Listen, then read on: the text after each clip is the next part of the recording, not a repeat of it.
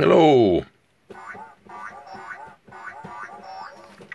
Playskool little noisemaker, a little kid's toy. I think there's six or seven songs in there. This thing chooses big buttons on. There's three of them. I like that one. It sounds like a frog. I like that. Anyway.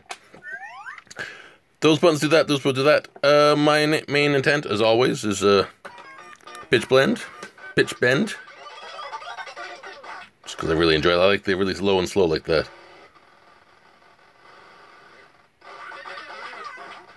That's a voltage divided pitch blend. I like that.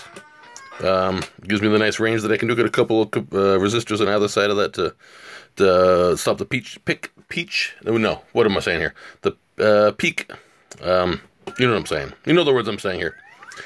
Um, then I thought, as I'm playing with these guys, each one of these could be looped. I wanted them to loop, but I couldn't figure out how to do it because I couldn't find the loop on the actual board itself. So I threw a 401 uh, 4106 hex Schmitt trigger with a bunch of oscillators on here and individually set these up to loop on an oscillator with a speed control and on off.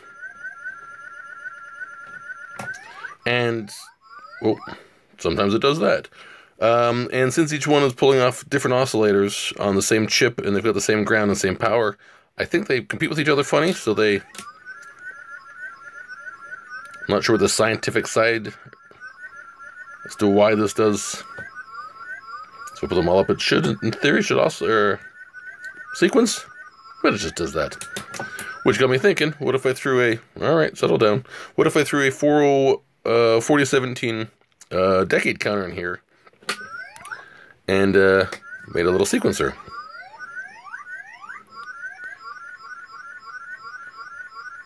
Now there's a funny glitch happening when I go slow. One of my oscillators jumps. Don't know why. I'm going to play with it a little more, but I think it's kind of neat that it just does that. Um, and I had to throw these guys in here because the buttons that I, the, the button wire that I have coming off the button for each of these goes to the looping oscillator. All right, settle down. Uh, off the loop into the looping oscillator as well into the 4017 uh, decade counter, and there was some kind of conflict happening, so I had to create a couple switches to switch whether it's going to oscillate uh, and loop or it's going to the the sequencer side. So right now it's the sequencer side. Um, oh, and I also did the loop on this guy. Is not going that way. Turn them off. Turn this guy on.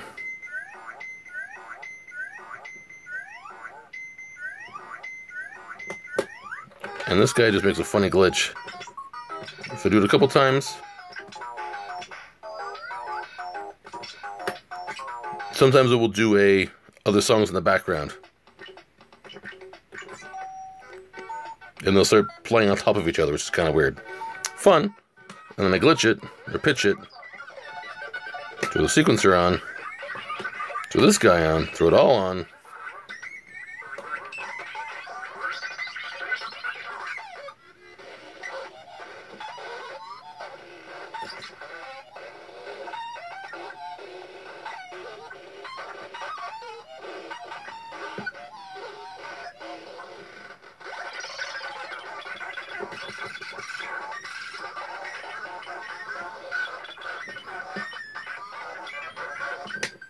A little bit of a weird nightmare. Nightmare soundtrack.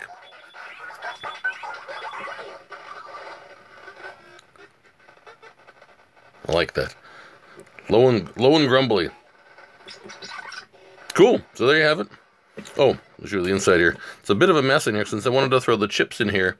Um, I've had to throw a breadboard in there because I'm still the prototype boards and stuff that I'm using. I'm not very good at the soldering and the mixing, and uh, this was a little complicated on the inside part. I'll show you this here.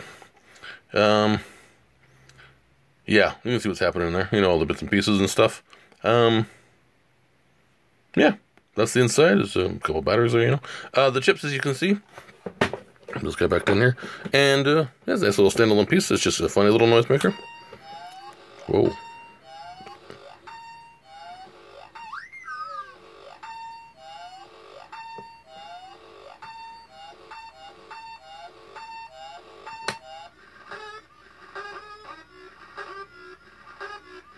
I like it. All right, that's it. Have fun. Go out, make some noise, have some fun, and uh, let's see what you make it there. Bye.